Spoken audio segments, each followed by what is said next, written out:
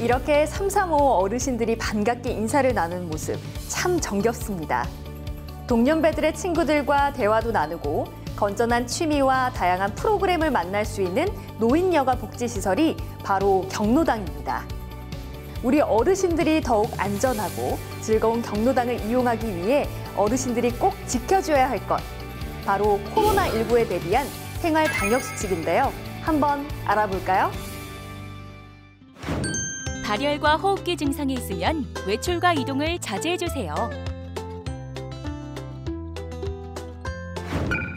열이 37.5도 이상이고 기침이나 인후통 등의 호흡기 증상이 나타난 경우 그리고 최근 14일 이내에 해외여행을 하셨다면 방문, 외출, 이동을 자제해 주세요.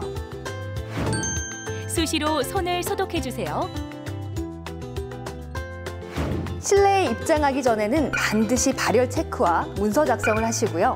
비치된 손 소독제로 손을 소독한 후 입장합니다. 흐르는 물에 꼼꼼하게 손을 씻어 주세요. 실내에 입장하시면 손을 꼭 씻어야 하는데요. 흐르는 물에 30초 이상 비누로 손가락 사이사이, 손톱 끝 밑, 그리고 손등도 잘 닦아줍니다. 기침 예절, 환기, 소독, 다른 사람과는 간격 유지를 해주세요. 기침이나 재채기를 할 때는 휴지나 옷소매로 입과 코를 가리는 에티켓은 잘 알고 계시죠? 또한 환기도 중요한데요.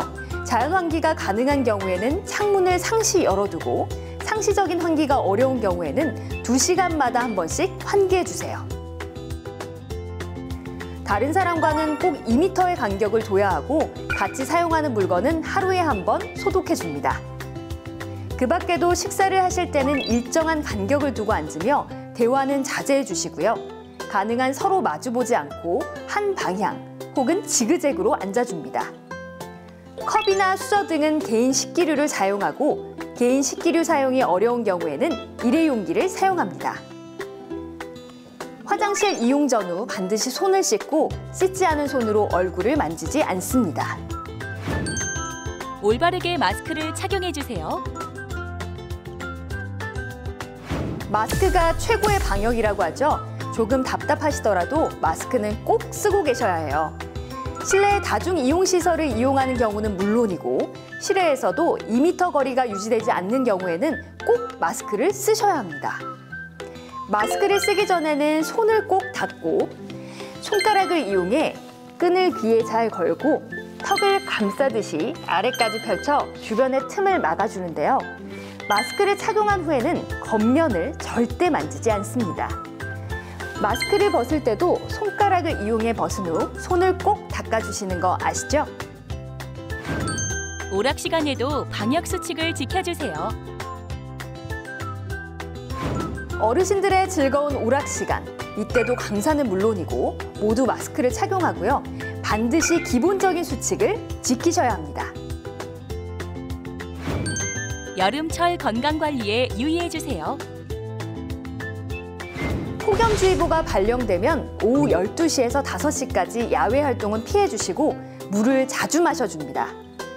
두통, 어지러움, 의식 혼동이 오면 빠른 시간 내 병원에 가야 하고요. 음식은 익혀 먹고 조리기구의 소독과 적절한 실내 온도를 유지해야 합니다. 할머니, 할아버지가 건강해야 우리 가족도 행복해요. 할머니, 할아버지 사랑해요. 네, 행복한 가정과 사회는 어르신들의 건강한 웃음 속에서 시작됩니다. 방심은 금물. 지금까지 알려드린 방역 수칙 잘 지키셔서 즐겁고 안전한 경로당에서 만나요. 방역 수칙 잘 지켜서 안전하고 편안한 여가 생활 우리 모두 함께해요.